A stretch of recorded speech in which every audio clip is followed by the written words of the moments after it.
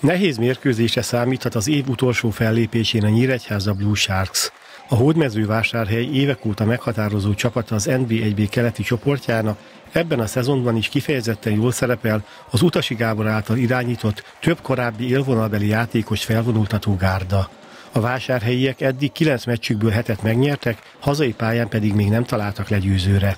A kékcápák viszont győzni utaznak Csongrád megyébe idegenben nekünk kellene szereznünk egy bravúrt. A hódmezővásárhelyi győzelem mindenféleképpen bravúrnak számítana, hiszen hazai pályán nagyon jó a hódmezővásárhely csapata, és úgy gondolom, hogy ezt bizonyították a bajnoki szereplésükkel, illetve a kupa szereplésükkel is, hiszen egy utolsó hármas, vagy utolsó másodperces dobással ütötték ki a HEP kupából a Debrecent.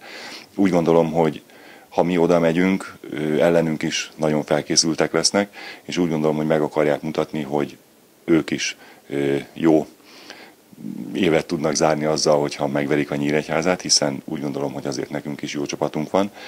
Éppen ezért egy nagyon kemény mérkőzésre számítok. A nyíregyháziak a legutóbbi fordulóban az éllovas Miskolc otthonában két pontos vereséget szenvedtek. Az irányító Bús Iván hasonlóan nehéz mérkőzésre számít, de bízik abban, hogy ezúttal ők körülhetnek majd a mérkőzés végén. Én személy szerint a Miskolcnál is erősebb csapatnak tartom. A hódmezővásár helyett nem véletlen a tabellán elfoglalt második helyezésük. A Miskolc előtti meccs hát jó volt a hangulat, jól edzettünk, jó formában éreztem a csapatot, nem is játszottunk rosszul, ez egy egylabdás meccs volt, máshogy is alakulhatott volna.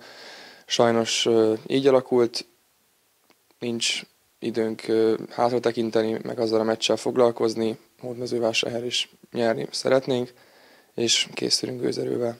A hódmezővásárhely Nyíregyháza Blue Sharks mérkőzés szombaton 18 órakor kezdődik. A tizedik forduló további párosítása a következő, Debrecen Salgótarján, Miskolc Nagykőrös, Óbudai Kaszások Tiszaújváros, Budapesti Honvéd Eger és Békés Mavc 2.